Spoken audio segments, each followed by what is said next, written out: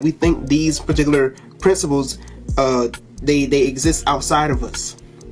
So we feel the need to make an altar. We feel the need to go to a particular temple or a particular festival. We feel that a certain priest has to pray over us or do just some type of ignition or ritual. Understand that whatever archetype of a principle, whether it's masculine or feminine, whether it's Ogun or Oshun, these particular archetypes just reflect who you are. They don't exist so when people say, oh, I saw Shakti in my dreams, I saw Kali in my dreams, I was walking on water with Ogun, you don't sound no different than a Christian who said that they had a near-death experience and met Jesus. We are dealing with these particular archetypes of energies. We are dealing with a, a reflection, okay? We're dealing with a particular image or symbol for something that we think is real in the subconscious. If a Christian receives a, a certain type of power and they identify that as Jesus, then that power will reveal to them, according to the subconscious, it's going to reveal to them as such.